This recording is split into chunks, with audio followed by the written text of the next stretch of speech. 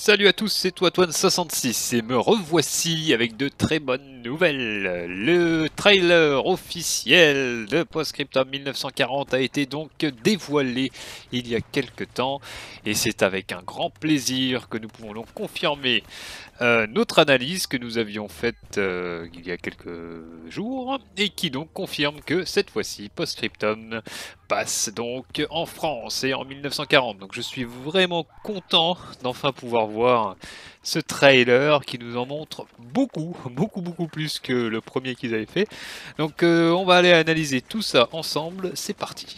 Alors j'avais entretenu un peu le suspense sur le fait que ce serait bien un opus ou pas sur France 1940. Bon je vous avoue je le savais déjà que ça allait l'être, mais en tout cas on va regarder un petit peu, y analyser un petit peu ce qu'on voit. Parce que là par contre il y a plein de nouveautés que, dont je n'étais pas au courant, en tout cas je pensais pas que le, le, le jeu était aussi développé déjà, déjà en avance. Donc euh, c'est une bonne chose, ce qui veut dire qu'on aurait certainement, euh, dans un temps assez court, euh, déjà la possibilité de pouvoir jouer, en tout cas peut-être en early access, la bêta de, cette, de ce nouvel opus là. Donc regardons. Du coup, le Lebel, 10 balles en capacité dans le chargeur, hein, dans le puits de chargement. Donc c'est pas un chargeur à proprement dit, vu que, c'est un, fusil à rechargement tubulaire. Hein. Euh, c'est-à-dire que ça fonctionne comme un fusil à pompe. Hein. vous glissez les balles et ça se loge dans un puits de chargement, dans un tube de chargement, pardon. Et euh, vous avez donc euh, le chargeur du Lebel. Donc le Lebel, c'est une arme assez ancienne. elle date vraiment du de la fin du 19e siècle, hein, si je ne m'abuse. Et c'est une arme qui était révolutionnaire à cette époque-là, hein, mais qui a donc euh, vu tout de suite euh, très vite ses limites. Bon, déjà c'est très grand comme arme. Hein. Euh, en tout cas, pendant la Première Guerre mondiale, déjà cette arme était plus ou moins obsolète. Bon, certes, il y avait pire en face, parfois, mais bon, c'était quand même une arme qui avait déjà beaucoup de défauts pour cette époque.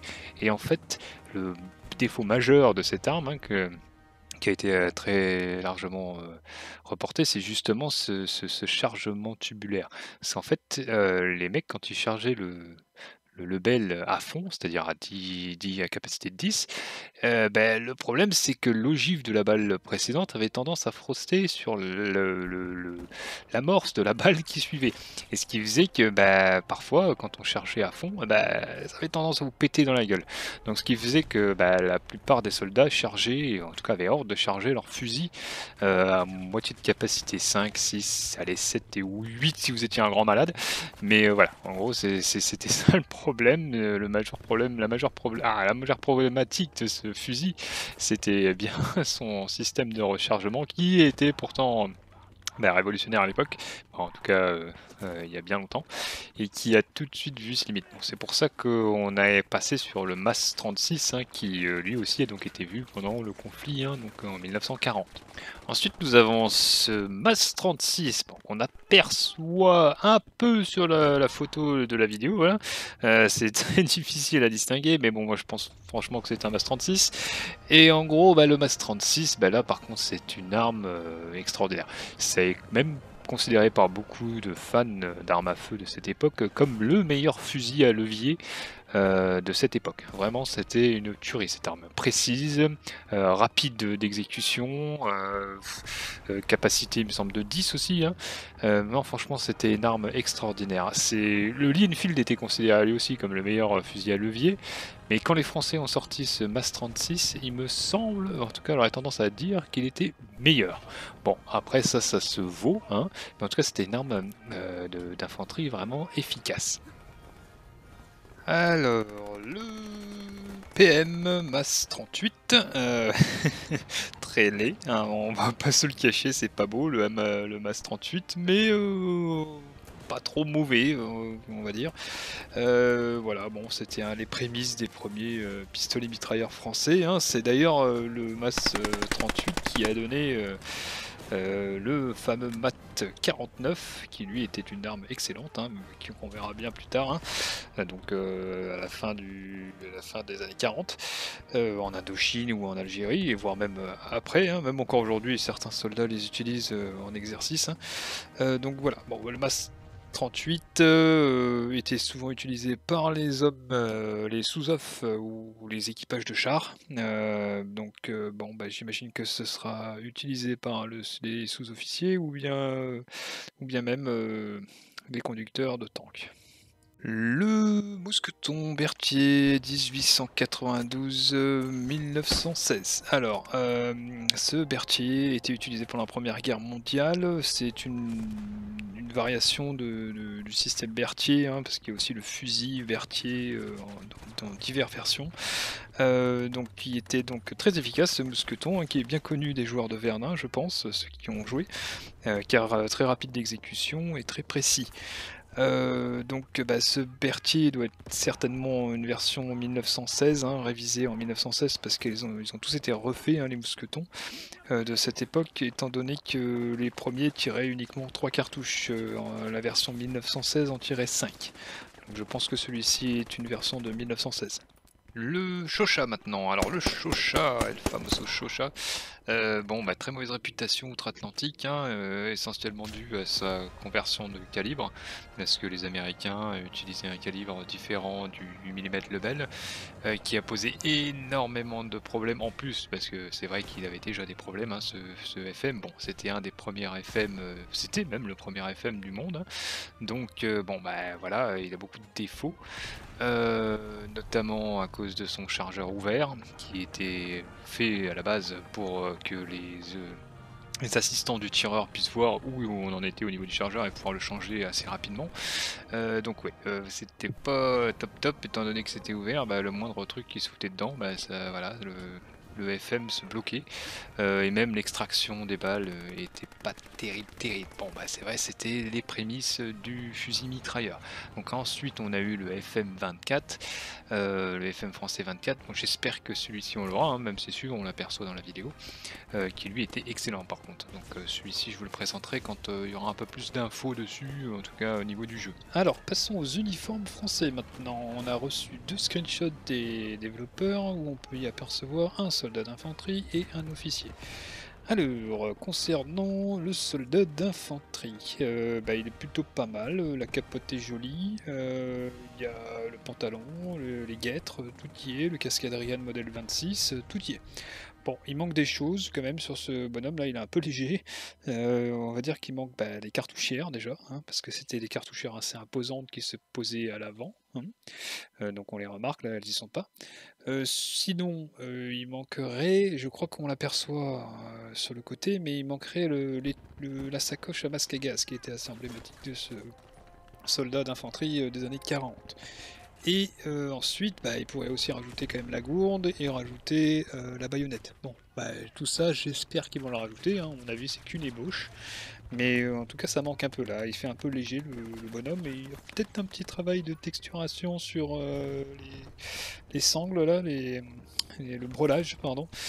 parce que là, ils sont pas top top. Alors maintenant concernant l'uniforme de l'officier français. Alors, bon, il y a des choses à dire. Euh, il est pas moche en soi, l'uniforme en lui-même est plutôt beau, le pantalon est correct, les potes aussi, la tunique, il y a des choses à dire, euh, le capi aussi. Bon, alors en gros, qu'est-ce qui va pas sur cet uniforme? Bon, je pense que c'est qu'une première ébauche, hein, enfin en tout cas je l'espère. Euh, déjà, bah, le capi, ça s'est pas vu des masses sur le front, hein. ils avaient plutôt essentiellement le, le cascadrian. Ensuite, euh, si vous voulez vraiment mettre le képi, le modèle de képi n'est pas bon parce qu'il est un petit peu trop surélevé. Euh, les képis modèle 35, il me semble, étaient plus bas, ils étaient un peu plus tassés, euh, les képis de cette époque. Et ensuite, sur la tenue, euh, ben, vous voyez, euh, le mec a des épaulettes. Et les épaulettes, ben, ça se faisait pas non plus sur les tenues de campagne, c'était pour les tenues de parade ou tenues de soirée. quoi. Donc en gros, il faudrait que ces galons soient sur la manche, sur les manches en tout cas. Bon, voilà. Après, on peut rajouter des petits détails du style, ils auraient pu rajouter des jumelles ou, ou autre. Mais en tout cas, bon, après le, rendu est pas mal, mais euh, il y, a du boulot dessus.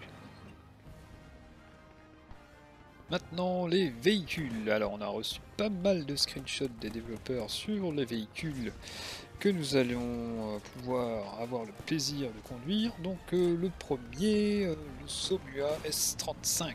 Alors, celui-là, j'adore ce tank.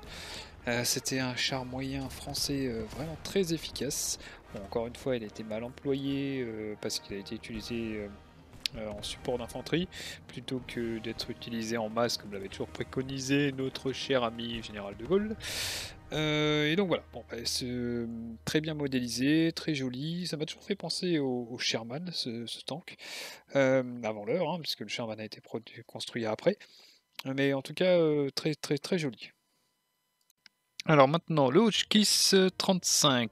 Bon, ça, c'était pas une foudre de guerre, hein, au même titre que le Renault 35. Euh, en gros, ils étaient très lents. Euh, bon, c'était des chars légers, hein, donc pour des chars légers, c'est pas top top.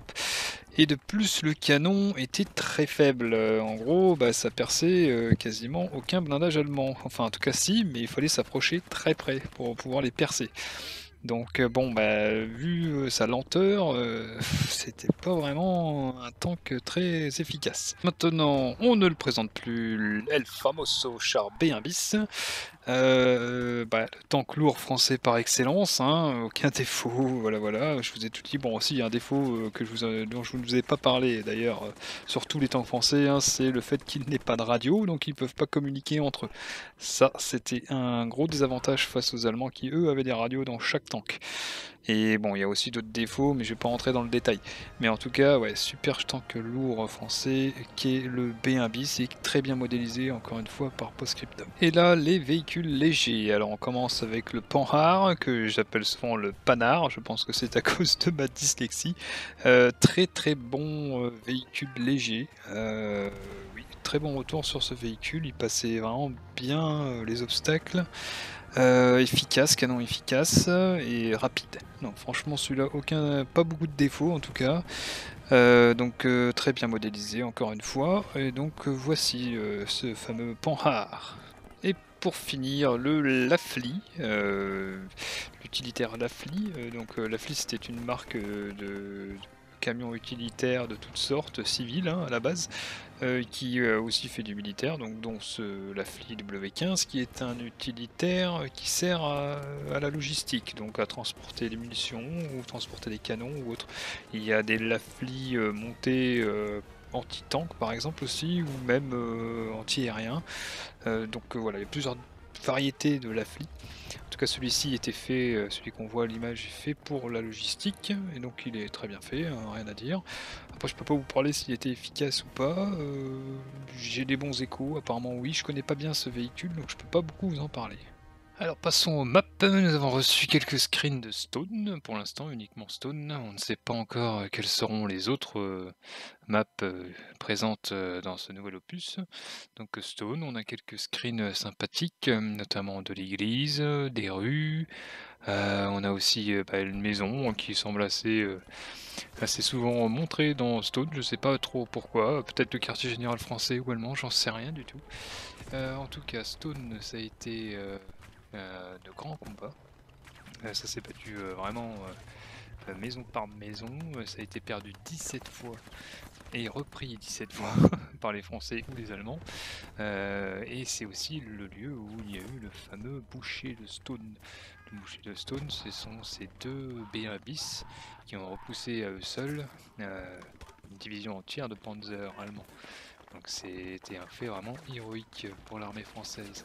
Alors normalement il devrait y avoir aussi euh, le fort de Dinan. Hein. Bon, je vous ai déjà montré quelques screens euh, sur ce fort. Donc je pense que ça va être une map assez sympathique dans le sens où il y aura des, élévations, beaucoup de forêts, un village, une rivière. Donc ça risque d'être intéressant à jouer. Et aussi, euh, chose très intéressante et très sympathique que, beaucoup de gens attendent, c'est les meubles. Enfin, les, maisons seront meublées. Euh, voilà, on a reçu cette nouvelle euh, juste là au moment où je faisais la vidéo. Donc euh, c'est très bien, c'est un plus pour le jeu. Bon, c'était pas spécialement nécessaire, mais c'est vrai que ça rajoute un peu d'immersion au jeu. On avait l'impression que les déménageurs bretons étaient passés dans toutes les villes de, Hollande dans le précédent opus. Donc cette fois-ci, bah, les maisons seront encore meublées. Et voilà, c'est tout pour moi. J'espère que vous avez apprécié la vidéo, j'ai essayé de détailler le plus possible les choses, euh, j'aurais pu encore euh, développer euh, plus que ça, mais bon j'avais pas envie de vous perdre, sinon la vidéo aurait duré une heure et demie, et donc voilà, bah, j'espère que je vous ai bien éclairé sur la situation actuelle qui est le nouvel opus France 1940 de Postscriptum, et j'espère vous retrouver bien vite sur Stone.